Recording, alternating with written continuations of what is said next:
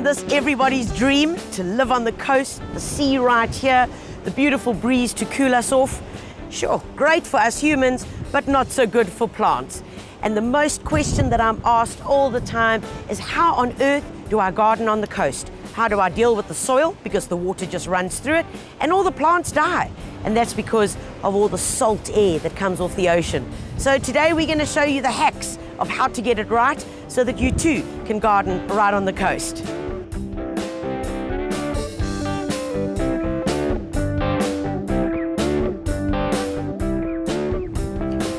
So folks, the biggest issue with coastal gardening is the soil. Because unfortunately, most of you are gardening on reclaimed sea sand, dunes. I mean, remember that Durban used to be right up to the Berea, used to be just sea.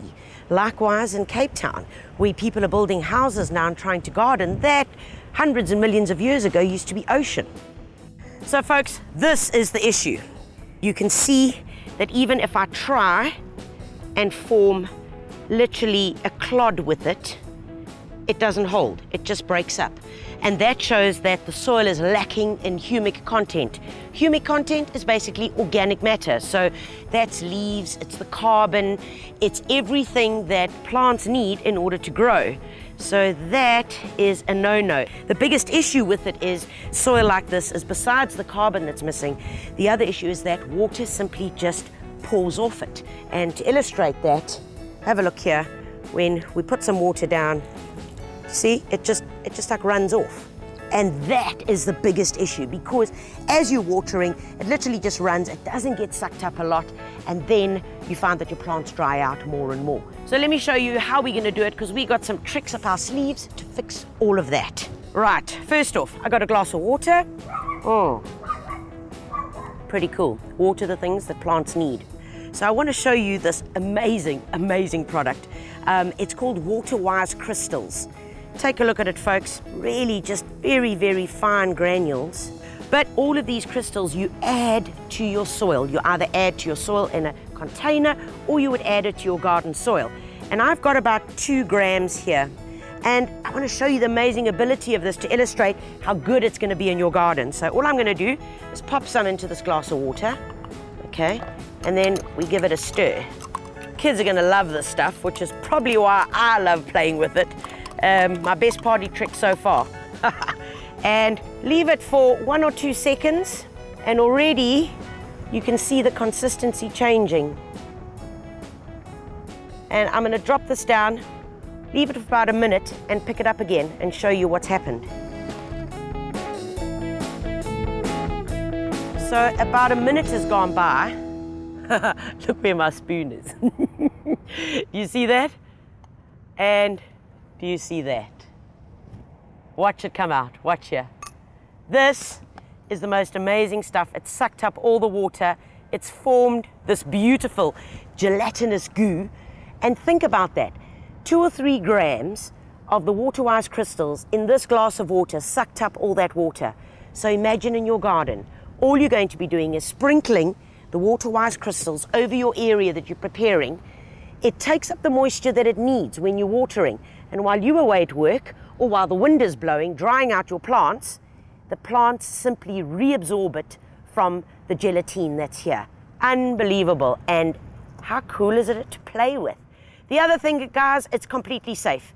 You could eat this, the dogs could eat it.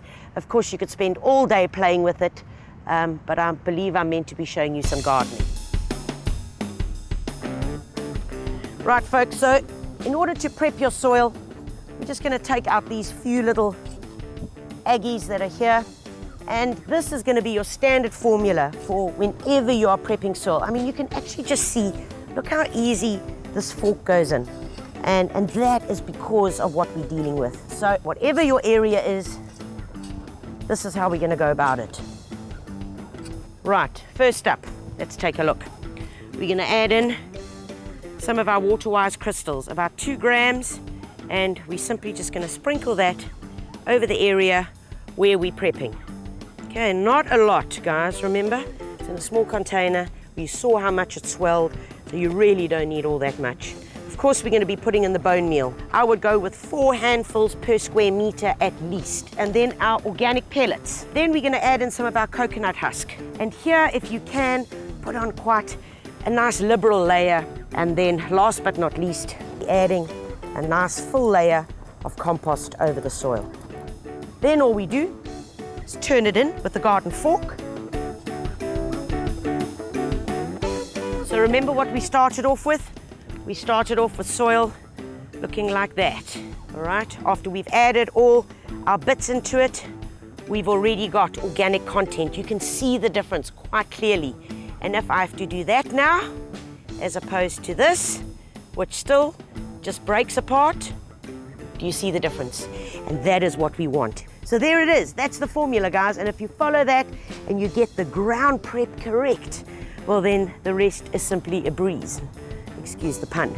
But let's show you some really good plants that are going to cope with the sea breeze that are kind of foolproof, bomb-proof, coast-proof. So there are a couple of traits that you need to look for when choosing plants if you're going to be gardening on the coast.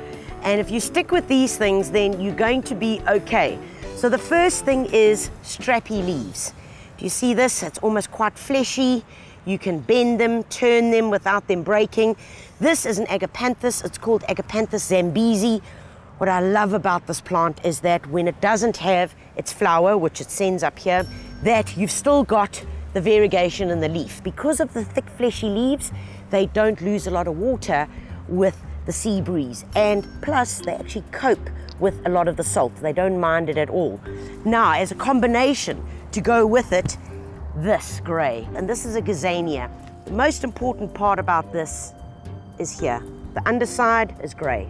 The top side is grey and it's actually, if you look really closely, it's even got some hairs on it. So the hairs are there to reflect the sun. Perfect, perfect, and ideal for any coastal gardening. So, two things, anything with a grey leaf and anything with a thick, strappy leaf. If you go with those, you are set to go.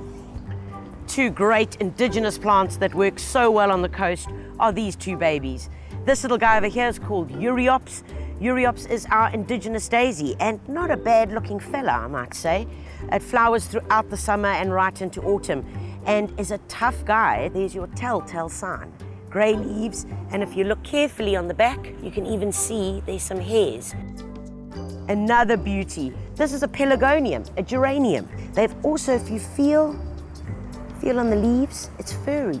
Loves the full sun, can grow in pretty poor soils, and doesn't require too much water. And the beauty about this plant is that even when it doesn't have flowers, I mean, who could resist that foliage? It's wicked.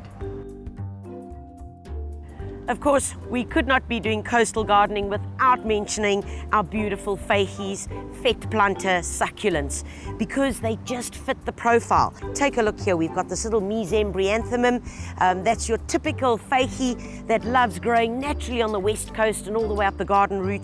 It's got those thick fleshy leaves, and all of these plants show those same characteristics. Of course, here, the little Echeveria, thick fleshy leaves, also a bit of grey on them. These are little sedums. Any sedum family, whether it's even up to the large leaf varieties, will do very, very well. And here is another indigenous little plectranthus. This will grow where the wind howls, folks. Any of these I would welcome in a coastal garden because I know that they are tough. So keep in mind, it's grey, it's a little bit of hairs on the leaves. If you can wipe it off, even better, and thick, fleshy, fleshy stems.